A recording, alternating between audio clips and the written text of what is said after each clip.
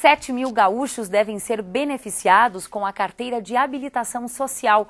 Quem tem mais informações sobre quem tem exatamente direito a esse serviço é a jornalista Raquel Tramontini serão distribuídas gratuitamente 1.400 primeiras habilitações, mais 1.400 adições de categoria e mais 4.200 mudanças de categoria.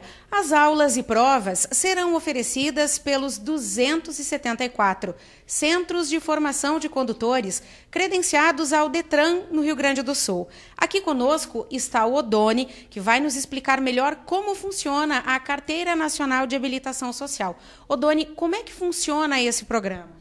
Esse programa é um programa do governo do estado que está subsidiando as carteiras de habilitação para esse pessoal, para lançar esse pessoal no mercado de trabalho.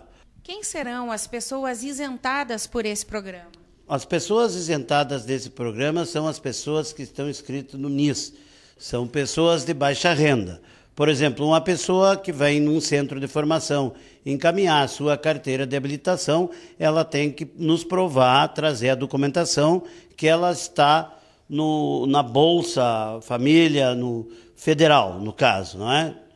E ela vem e traz toda a documentação dela e faz a sua inscrição e o governo refia, paga, subsidia todas as taxas.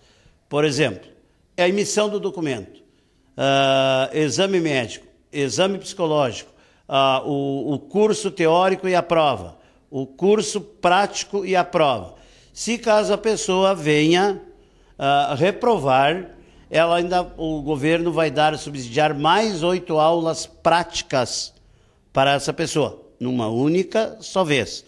Temos também 15% para a raça negra, os pardos, e 50% para a parte feminina, que são as mulheres, que também já estão no mercado trabalhando aí como taxistas, motoristas de ônibus, aqui em Passo nós já temos motorista de ônibus, de caminhão, de carreta.